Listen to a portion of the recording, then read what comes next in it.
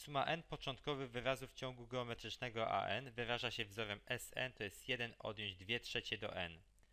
Oblicz pierwszy wyraz ciągu i jego iloraz. Dobrze. Mm, proszę Państwa, mamy wzór Sn.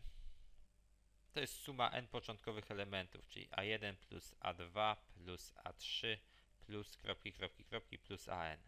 Oni się pytają o pierwszy wyraz ciągu i jego iloraz. Najpierw znajdźmy sobie, ile wynosi pierwszy wyraz. Pierwszy wyraz to jest po prostu S1, bo S1 to jest suma jednego początkowego wyrazu ciągu.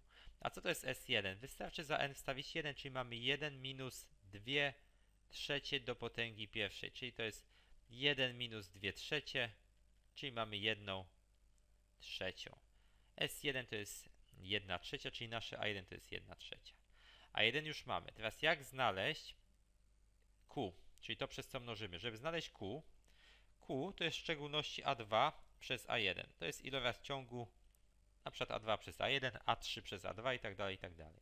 Czyli potrzebujemy sobie znaleźć jeszcze A2. Jak znaleźć A2? Bierzemy sobie najpierw S2.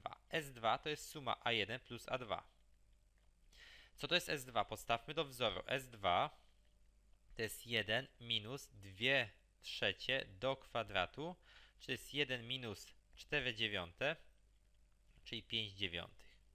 S2 to jest 5 dziewiątych, czyli napiszemy sobie 5 dziewiątych to się równa A1, czyli 1 trzecia plus A2.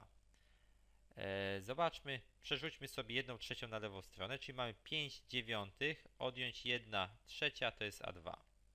Czyli to jest 5 dziewiątych, odjąć 3 dziewiąte to jest A2. 5 dziewiątych odjąć 3 dziewiąte to są 2 dziewiąte, czyli mamy 2 dziewiąte to jest nasze A2. A2 to są 2 dziewiąte. A zatem nasze Q to będzie A2, czyli 2 dziewiąte przez A1, A1 nasze to jest 1 trzecia. 2 dziewiąte przez 1 trzecią. 2 dziewiąte przez 1 trzecią. Dzielenie to jest mnożenie przez odwrotność, czyli razy 3 pierwsze. Skracamy dziewiątkę, trójkę, tutaj mamy 1, tu mamy 3. Mamy zatem 2 trzecie. Nasze Q wynosi 2 trzecie, nasze A1 wynosi 1 trzecią. Jest równe 1 trzeciej.